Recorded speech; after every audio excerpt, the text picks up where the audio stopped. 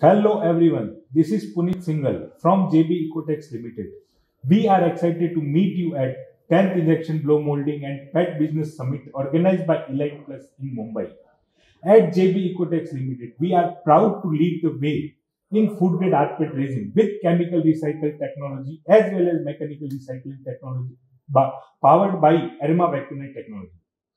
With USFDA approval for chemical recycled rPET resin and mechanical recycled rPET resin. JB Ecotex is well positioned to serve packaging industry globally across rigid and flexible packaging needs with total production capacity of 45,000 metric ton per annum.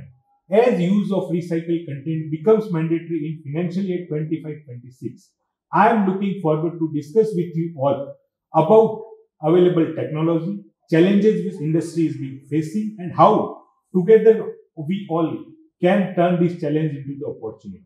So let's shape a greener and smarter future for the packaging industry together. See you at the summit.